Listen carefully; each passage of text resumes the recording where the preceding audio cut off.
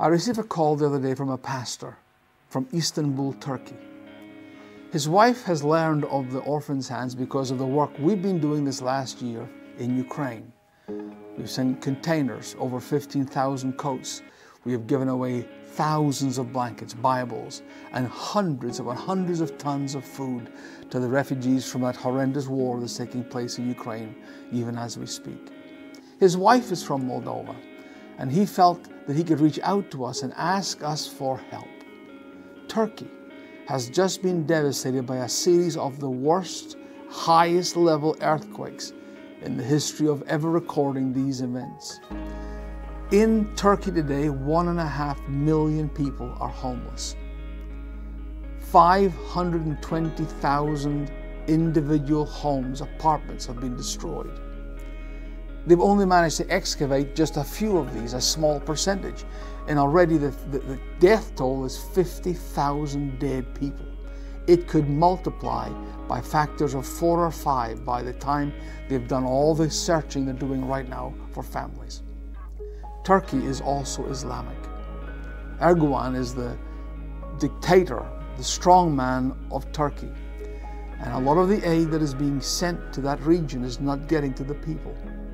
This pastor called me and says, We have church members that are in tremendous need, and they are the last people to receive it because of their faith. We immediately asked how we could help. He has been offered to care for a hundred families. And the other day we bought 40 tents. It cost $25,300 to buy 40 tents.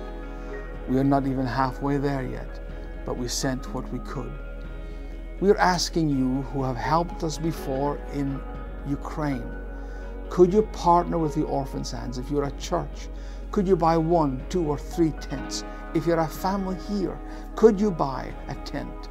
It's about $520 to buy that tent.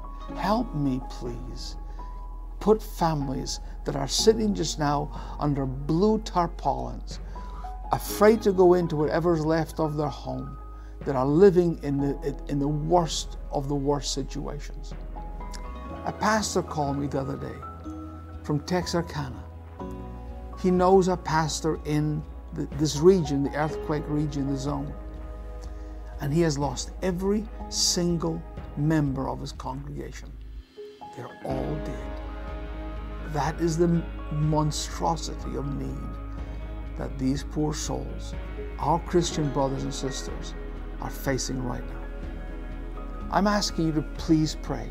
As we speak, we have a van, one of our cargo vans that has been used in the aid in Ukraine that we have moved from Chisinau all the way down to Romania and Bulgaria, all the way through Istanbul, right down to the earthquake zone. That van will be used to fill with food and bring it down to the people in desperate need. This is something we didn't ask for. I was sitting watching the Turkish earthquakes like you have been. I guess the only difference between me and you is I got a phone call and asked us for help, and I cannot turn my back. Please pray about helping us in this critical time and allow these amazing young people that we have rescued from orphanages that have served such amazing yeoman's work in the last year in Ukraine. Help them help these poor brothers and sisters in Turkey find hope, find care, and find a place to stay because of our love. Thank you so much.